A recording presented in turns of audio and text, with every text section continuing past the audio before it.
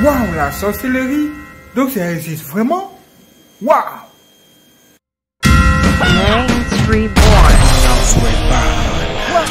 Bonjour les frères et sœurs et bienvenue sur Science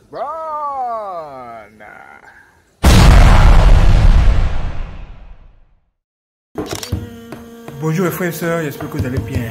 Aujourd'hui nous nous retrouvons pour un témoignage puissant hors du commun où nous recevons un ex-sataniste qui a des choses à nous dire sur la sorcellerie. Quoi? La sorcellerie sur eux, ça existe vraiment? Les frères et sœurs, vous devez savoir un truc. La sorcellerie, c'est pas ta plaque. Ça existe, il y a des sorciers. Les sorciers sont là. Même, alors je de vous parler, ils en train de m'attaquer. Mais est-ce que vous les voyez autour de moi comme ça? C'est un combat spirituel. Ils peuvent utiliser tout et n'importe quoi pour pouvoir nous combattre. Mais si vous ignorez ceci, ils vont vraiment vous fatiguer. Parce que vous devez vraiment le connaître, le découvrir, bien le combattre. Vous devez surtout vous attacher au Seigneur Jésus-Christ, à la parole de Dieu, avoir la connaissance nécessaire dans ce combat-là. C'est pourquoi nous faisons cette vidéo, juste pour vous informer aussi sur toutes ces jeunes choses bizarres. Quand on parle de la maladie de, de l'épilepsie, la plupart des gens pensent que cette maladie est simple. Or, c'est une origine démoniaque. Ça va être chaud. Ce que nous entendons ici, la du commun, dans nos studios. C'est parti. Names Reborn. Bonjour les frères et sœurs et bienvenue sur Reborn.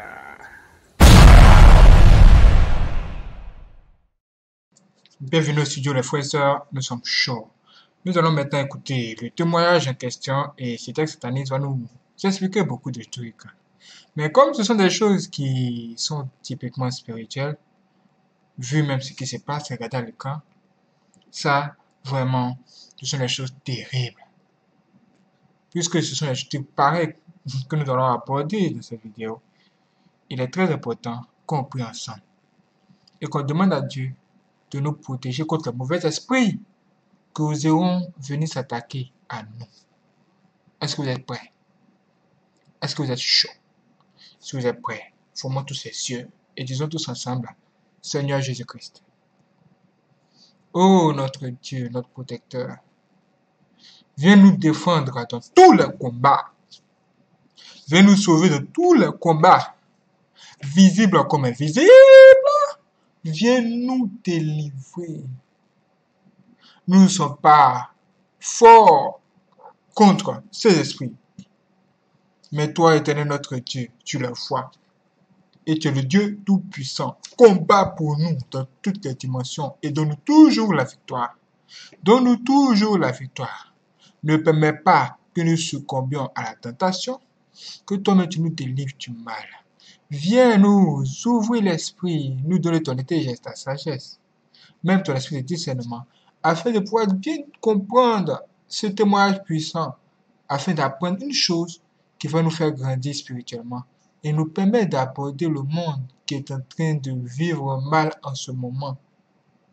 S'il te plaît, Seigneur, viens sur tous les abonnés, viens sur toute l'équipe bien souvent, viens sur nos familles, que rien ne les arrive, que toutes ces maladies qui frappent le monde, tous ces virus inconnus qui sont en train de toucher le monde en ce moment, que toutes ces choses-là n'affectent pas ceux qui te craignent, ceux qui te recherchent, que ta main puissante nous protège, que ta lumière descende dans nos maisons. Maintenant, viens nous enseigner, viens nous permettre de découvrir ce que nous devons découvrir. Donne-nous de savoir également si ce témoignage vient de toi ou pas. Que ta lumière nous accompagne. Amen. Applaudissez mes frères et sœurs. Applaudissez mes frères et sœurs, c'est un témoignage puissant. Nous allons découvrir beaucoup de choses. Déjà, ce texte sataniste va nous expliquer qu'il n'est pas toujours facile de se confesser. Waouh! Parce que vraiment, c'est extraordinaire. Écoutons. Nous autres qui témoignons, nous autres qui témoignons, nous avons quand même le courage hein, de témoigner, de parler de ce que nous avons fait en mal. Mais il y a des pasteurs qui sont dans l'église, ils parlent de sanctification, sainteté. Mais si vous leur demandez de parler de la vie qu'ils ont menée avant Christ, mais il y a des assassins, il y a des gens qui ont fait avorter des filles, il y a des gens qui ont fait des dégâts, qui étaient des voleurs, même des bandits. Mais Dieu de la chair, ils n'ont jamais parlé de leur passé. Et ne croyais, je croyais pas que c'était une chose facile pour quelqu'un de, se de se tenir devant les gens et de parler, non, j'étais sorcier, j'étais magicien. Il faut avoir le Saint-Esprit pour le faire. Voilà pourquoi le Seigneur lui-même a dit, dans Acte 1, 8, il a dit, mais vous recevrez une puissance. Le Saint-Esprit surveillant sur vous et vous serez mes témoins. Nous témoignons, nous, nous, faisons abstraction de ce que les gens peuvent dire de nous. Parce que d'abord, quand, quand, quand on, se, on se tient devant les gens, on commence à dire j'étais sorcier, j'étais ceci. D'abord, qu'est-ce que, humainement parlant, humainement parlant, est-ce qu'on s'attire, on s'attire, euh, qu'est-ce qu'on s'attire là? Le mépris. Non, le mépris. Le mépris et même euh, les gens, oui, la peur, les gens vont, vont commencer à vous regarder vraiment d'un œil euh, compliqué parce que il peut comment donc vous attirez de la méfiance même n'est-ce pas? Est-ce que quelqu'un peut pour un plaisir chercher à s'attirer le mépris la méfiance et tout? Donc c'est seulement lorsqu'on a reçu un ordre du Seigneur qu'on se donne le courage de dévoiler non seulement parce que euh, on est dedans mais aussi bon, bon, mais, on, le fait parce qu'on se dit J'étais dedans. Le Seigneur m'a fait sortir de là. Mais il y en a d'autres qui, qui traînent encore là-bas. Il faut parler pour les encourager à quitter. Il, il y a aussi d'autres qui n'ont pas été là consciemment, mais qu'on est en train de manipuler, qu'on est en train de faire souffrir. Maintenant, ils sont dans les églises, mais ils ne savent rien. Mais si on parvient quand même à leur parler, hein, on parvient quand même à leur dire, on parvient quand même à leur parler, à leur dire certaines choses, ils peuvent comprendre alors pour dire, en tout cas, ce que je vis donc, il y a une main noire qui se cache derrière ce que je suis en train de traverser. Donc, je pense que c'est vraiment important que nous puissions témoigner. Il y a un autre signe, euh, quand on est, on, est on, est, on est ensorcelé, il y a un autre signe, quelqu'un qui est ensorcelé peut même à un âge adulte faire pipi au lit. Là, maintenant, il va commencer à parler des signes de la sorcellerie. Des gens qui manifestent des signes de la sorcellerie, mais qui l'ignorent carrément. Écoutez très bien. Il y a des gens comme ça, mariés, il est, il est parent, mais ils se retrouvent dans cet état-là. Bien sûr, ce sont des choses qui font honte, mais il y a des gens comme ça. Et ils n'arrivent pas à expliquer ce qui leur arrive. Il faut seulement leur dire que ce sont les effets de la sorcellerie et la personne va se lever pour chercher sa délivrance et mettre fin à ce fléau. Je dire que si tu vous remarquez que vous pissez au lit, bien que vous soyez âgé, c'est qu'il y a un problème sérieux. Et ça, ce n'est pas naturel. C'est un problème d'ordre spirituel. Ce sont les sorciers qui font ça. Vous pouvez dire à quelqu'un, reçois Jésus. La personne dit, oui, je reçois Jésus dans ma vie comme Seigneur et Sauveur, c'est bon. Mais la personne continue à vivre dans ces fléaux. Vous allez lui dire encore quoi? Si la personne n'est pas révélée. Donc, il y a des signes. Il y a aussi l'esprit de servitude. L'esprit de servitude caractérisé par des maladies bizarres, interminables et périodiques. Vous voyez par exemple l'épilepsie. Jusqu'à aujourd'hui, la médecine n'a jamais trouvé une solution à cela. La médecine humaine, elle est impuissante devant l'épilepsie. L'épilepsie, pendant que la personne tombe, commence à convulser, à ce moment-là, son esprit est transporté et on l'utilise quelque part. Vous pouvez voir la personne en train de s'agiter, en train de faire la convulsion, et, mais vous ne savez pas ce qui se passe spirituellement. On prend la personne pour l'utiliser. Waouh Et avec ça, qu'est-ce qu'on peut faire? Si on ne révèle pas la vérité, bon, donnez-moi quelqu'un qui a, qui a souffert de l'épilepsie, qu'on a amené à l'hôpital et qui a été totalement guéri. Il y a toujours des calmants. Et, mais les séquelles sont toujours visibles, non? Alors, il y a des choses pareilles. Est-ce que vous avez déjà vécu ça? En tout cas, moi, j'ai déjà vu un cas d'épilepsie. Un jour, j'allais à l'école et j'ai vu un homme qui est tombé là devant moi. Qu'est-ce que les gens ont fait? Les gens ont pris des feuilles et ils ont versé de l'eau sur des feuilles pour que ça puisse tomber sur lui. Souvent, ils, positionnent la personne à un endroit où il y a un toit et ils vont prendre de l'eau pour verser sur le toit afin que ça puisse tomber sur cette personne parce qu'ils ils se disent que cette personne est de manifester des signes bizarres qui sont spirituels. Donc, pour pouvoir guérir la maladie, il faut utiliser des, des, des- médicaments spirituels. Est-ce que vous voyez? C'est exactement ça. Ça, c'est très connu.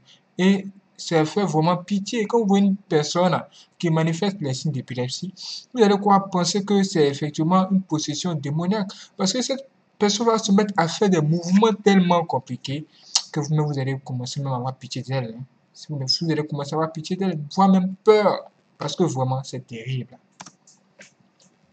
Donc, l'esprit de servitude. Il y a de rêves de tourment. Il y a des problèmes en chaîne. Donc, un problème se termine, un autre vient.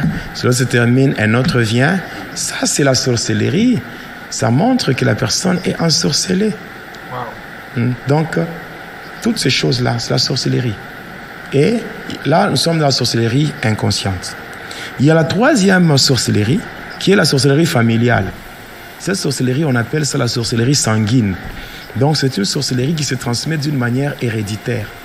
Donc, c'est comme un héritage familial. Et cette sorcellerie a aussi ses caractéristiques. Le premier caractéristique, c'est le manque de compassion. Oui, des manques de compassion. Deuxième caractéristique, c'est frapper les enfants presque tous les jours.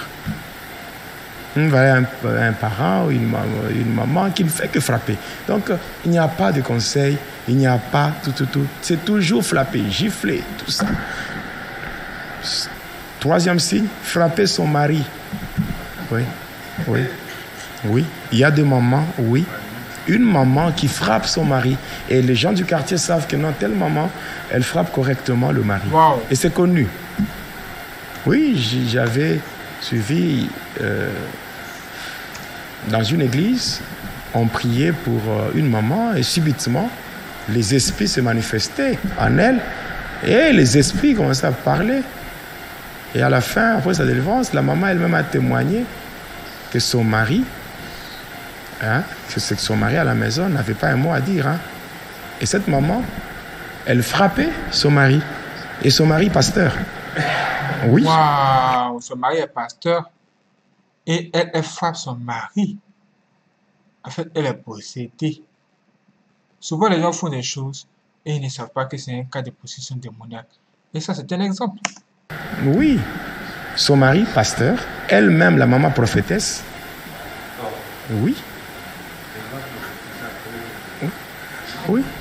Vous voyez, c'est ça. Quand, quand, quand, quand on, on néglige, le diable aime bien qu'il soit négligé pour bien opérer. Quand vous le négligez, vous lui donnez la facilité d'opérer. Mais lorsque vous le démasquez, il devient faible. Hmm. On doit démasquer le diable. Parce que quand un combat spirituel, quand vous le faites sans connaître le pourquoi, souvent dans l'église, allez, prions, allez, prions, envoyons le feu, allez, faisons ceci. C'est devenu comme des slogans. Aujourd'hui, aujourd'hui, le combat spirituel dans les églises, dans beaucoup d'églises, c'est un combat sans victoire. Parce qu'on fait un combat sans précision. Au travers de... Vous voyez, celui qui délivre le sataniste, ce n'est pas le diable. C'est le Seigneur Jésus-Christ. Et tout ce que le Seigneur fait, il le fait toujours avec un but. Oui. Aujourd'hui, combien de gens se retrouvent libérés parce que le pasteur Jonas a témoigné? Combien de gens? J'ai déjà eu à, prier, à prier. Je sais que nous, les hommes de Dieu, nous prions. Celui qui délivre, c'est Jésus. J'ai déjà à prier pour beaucoup de gens. J'ai déjà, ah, déjà eu à prier pour des ministres, des enfants de ministres. J'ai déjà prié pour beaucoup de gens, même les autorités. J'ai prié pour beaucoup de gens et le Seigneur, par sa grâce, il a agi. Et aujourd'hui, ces personnes se retrouvent libérées. C'est pour la liberté que Christ nous a affranchis. Oui. Donc, le ministère que nous avons reçu, c'est un ministère de réconciliation. D'abord, nous sommes là pour réconcilier les hommes avec Dieu. Et au-delà de la réconciliation, nous devons briser la condamnation. Nous devons briser tout ce que le diable a imposé injustement sur les enfants de Dieu. Et il y a des choses qui ne peuvent être brisées que lorsqu'elles sont révélées. Donc, et un autre signe, c'est frapper sa femme. L'amour, l'amour, l'amour, dans l'amour, il n'y a pas, il n'y a pas, euh, il n'y a pas la brutalité. Il y a des choses qu'il faut se résoudre dans le dialogue. Hein, quand vous dialoguez, puis il y a, il y, a, il y a des choses qui peuvent se résoudre sans violence. Mais lorsqu'un homme dit à sa femme je t'aime et il frappe, il frappe, il déforme la personne, je pense que ça, ça ce n'est pas le Saint-Esprit. Il n'y a que les démons qui peuvent pousser quelqu'un à faire ça. Donc euh, là, il faut comprendre. Oui. Alors, ce sont les trois formes de sorcellerie. Alors, les sorciers sont aussi organisés. Ils sont vraiment bien organisés. Vous voyez, quand vous prenez l'Afrique, l'Afrique c'est un grand continent qui comporte deux grands déserts. Au nord, la partie qu'on appelle le Maghreb, il y a le désert de Sahara.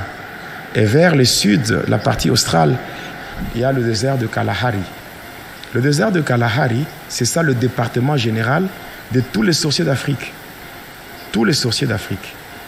Ils se réunissent là-bas, au niveau du désert de Kalahari. Au désert de Kalahari, là, quand les sorciers partent, ils ne voient pas le diable Lucifer. J'ai toujours dit que la sorcellerie, c'est une folie. Folie dans le sens que vous travaillez pour quelqu'un que vous ne connaissez pas. C'est ainsi que quand tu travailles pour quelqu'un que tu ne connais pas, mais maintenant qui va te payer, c'est ainsi que vous allez voir, un sorcier peut aller la nuit, il mange la chair humaine, il boit le sang, mais le matin, quand vous le voyez, vous avez même pitié. Il n'a même pas l'argent pour se payer la braise. Donc il est toujours en train de mendier à gauche, à droite, mais la nuit, il se voit comme un patron. Il se voit dans des choses là, tout ça. Donc c'est une folie. Moi, je ne peux pas travailler pour quelqu'un que je ne connais pas. Si aujourd'hui je travaille pour Jésus, c'est parce que je le connais. Je le connais.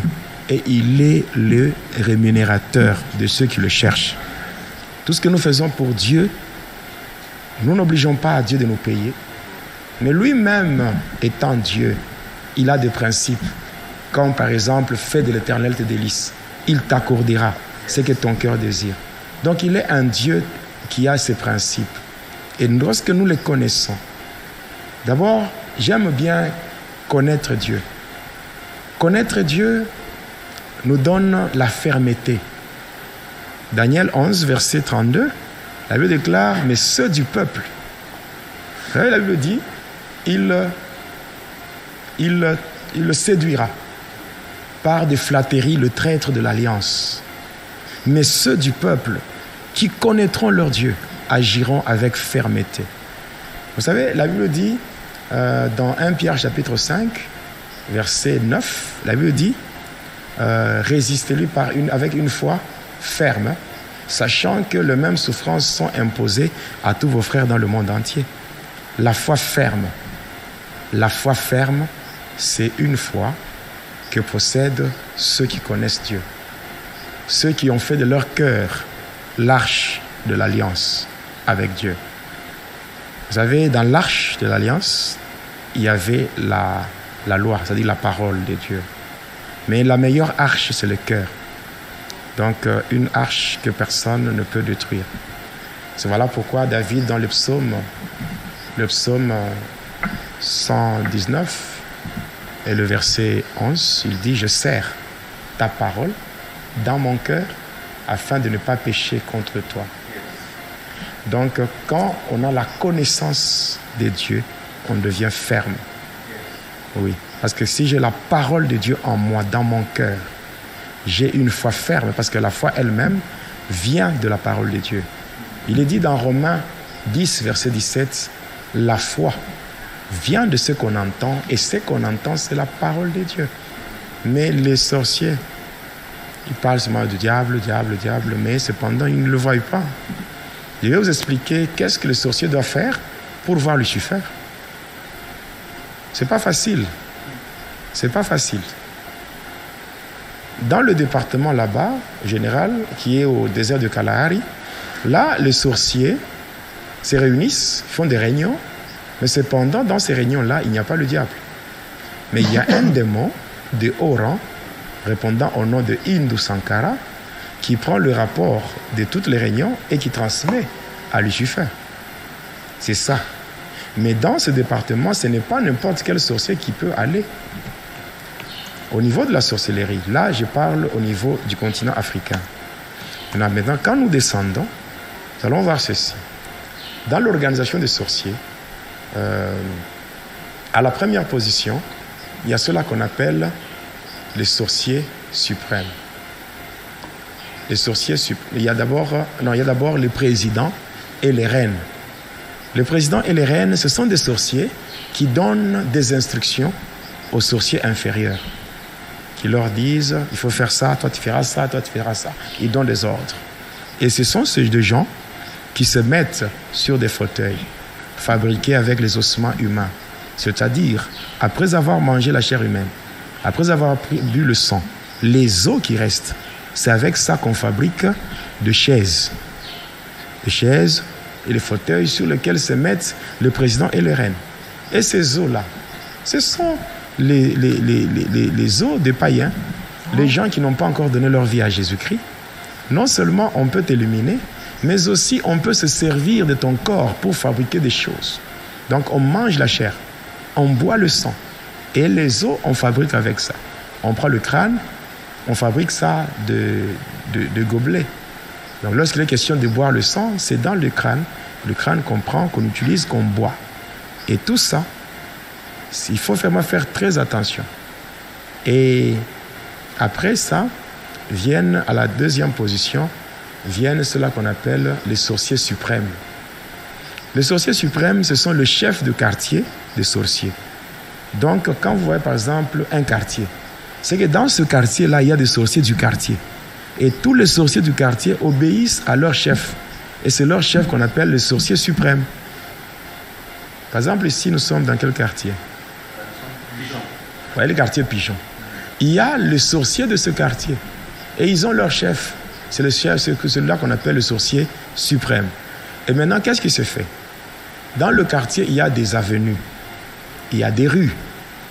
Alors, sur chaque rue, sur chaque avenue, il y a des sorciers de la rue ou les sorciers de l'avenue. Et les sorciers de l'avenue, ils ont aussi leur chef. Et le chef, c'est lui qui est chargé de prélever les informations dans toutes les familles qui sont sur son avenue, en utilisant bien sûr ce qu'on appelle les relations de bon voisinage. Waouh. Vous voyez, ici, avec ce problème ici de la, solidarité africaine, hein, il faut aussi faire usage de ce qu'on appelle la discrétion. On, pas le, on ne peut pas dire n'importe quoi à n'importe qui. Il y a certaines personnes, on peut se limiter à la salutation. Bonjour, bonjour, comment allez-vous? Ça va bien et tout et tout, c'est tout. Mais vous ne pouvez pas quand même donner le détail de votre vie aux inconnus. Même à certaines personnes qui sont proches de vous, vous devez aussi quand même avoir des réserves. Il y a certaines choses que vous devez garder pour vous. Je sais que Joseph, le fils de Jacob, s'est retrouvé euh, vendu. C'était par manque de, de discrétion. Même si, même si au final il s'est retrouvé Premier ministre, c'est justement parce que c'était le plan de Dieu. Dieu avait montré ce qu'il devait être dans les jours à venir. Mais tout le monde n'est pas Joseph. Tout le monde n'est pas Joseph. Alors on peut se retrouver en train de parler sans connaître l'état d'âme de la personne avec qui on parle. Maintenant, le chef d'avenue, lui, part de maison en maison. Et il part là-bas, il arrive, il ne va pas vous dire que je suis sorcier parce que la sorcellerie, la magie, le satanisme, ce ne sont pas des choses qui se lisent sur le visage. Alors, euh, ce ne sont pas des choses qui se lisent sur le visage. Quelqu'un peut arriver, commencer à causer avec vous, et vous aussi, passant par les relations de, de, de, de- de bon voisinage, vous commencez maintenant à parler de vos projets. Non, on va prendre l'enfant en mariage, je vais voyager, j'ai des affaires que je dois, je dois euh, exécuter tel endroit, oh ceci, ceci, mon enfant tel, cette année, il va présenter ses examens d'État. Quand vous parlez, vous êtes en train de causer, hein, mais vous ne savez pas que la personne avec qui vous êtes en train de parler, cette personne est en train d'enregistrer tout. Et maintenant, la nuit, le chef d'avenue, et non le chef, de quartier, qu'on appelle le sorcier suprême, va se placer au croisement des avenues. Et quand il se place là, qu'est-ce qu'il va faire? Tous les chefs d'avenue vont se- mettre en file. Et chacun passe pour donner le rapport de ce qu'il a prélevé comme information dans telle famille, dans telle famille. Il va arriver, non, sur mon avenue, sur ma rue, dans telle famille, il y a ça, ça. Telle famille, il y a ça, ça, ça. Et le chef, le, le de quartier, le sorcier suprême, lui, il enregistre tout. Waouh. Et il prend cela. Si un chef d'avenue termine, un autre passe. Quand tous vont terminer avec leur rapport, c'est là que lui maintenant va s'envoler. Il s'envole pour aller où? Il s'envole pour aller dans le département, dans le désert de Kalahari. Et quand il arrive là-bas, il y a des prisons. On appelle ça les prisons spirituelles. Et quand il arrive, il prend tout ce qu'il a prélevé. On dépose là-bas. Si par exemple, c'est par exemple pour toi, on a parlé de mariage, n'est-ce pas? Lui, il prend seulement mariage. On met là-bas. Si on a parlé de diplôme, pas diplôme, on met là-bas. Santé, fécondité, on met dans des prisons spirituelles. Et si ça t'appartient, qu'est-ce qu'on va faire maintenant? À partir de là, on va chercher un sorcier de ta propre famille. Un sorcier de ta propre famille, c'est un sorcier ou une sorcière. Et on va appeler ce sorcier et on va lui demander de s'asseoir sur ce qu'on a bloqué dans ta vie. Et il va s'asseoir comme un géolier. Il est là bien assis. Hein? C'est pour cela, dans le combat spirituel, il faut se poser la question de savoir qui est assis sur toi. Qui est l'homme fort de ta vie? Qui est la femme forte? Qui est l'enfant fort? Parce qu'il est dit ceci. Aucun homme, dans, Ma- dans Marc 3, 27, aucun homme ne peut pénétrer dans la maison d'un homme fort et commencer à piller ses biens sans avoir lié cet homme auparavant. Il y a des gens qui font des prières. Tant que celui qui est assis sur ce que tu cherches n'est pas encore délogé, on ne pas encore, on l'a pas encore enlevé de là. Mais tu vas chercher comme tu veux. Et là, il est là, bien assis. Il peut même passer chez toi pour te saluer, voir comment ta vie évolue. Et il va dans les ténèbres, il va se moquer de toi, donner un témoignage de ta souffrance. Et ça, c'est la vérité du chemin. C'est vérité. C'est réel. Hum. Mais c'est comme ça que beaucoup de gens souffrent, non? Parce qu'ils ne savent pas ceux qui sont assis sur ce qu'ils cherchent. Mais si tu donnes ta vie à Jésus-Christ, tu le cherches, tu le cherches, il va te révéler et il va mettre à tes pieds même tes ennemis qui étaient assis sur ta vie. Il a dit, assis-toi à ma droite jusqu'à ce que je fasse de tes ennemis ton marchepied. Dieu est capable de le faire. Il est capable de le faire. Et ça, c'est à partir de là, on bloque. Waouh. Vous avez entendu ça? C'est un truc hors du commun. Et c'est exactement ce que les sorciers font. Les mêmes qui te combattent de loin des esprits, ce sont les mêmes encore qui vont venir te, prescrire des médicaments pour te compliquer encore la vie. C'est pourquoi dans la vie, il ne faut pas être distrait. Il faut être vigilant. Avoir beaucoup d'amis, c'est aussi avoir beaucoup d'ennemis. Dites-moi ce que vous en pensez et prêts pour la prochaine vidéo. D'autres vidéos de ce type, ça arrive encore. Restez connectés, abonnez-vous, activez la cloche et soyez prêts. C'est parti.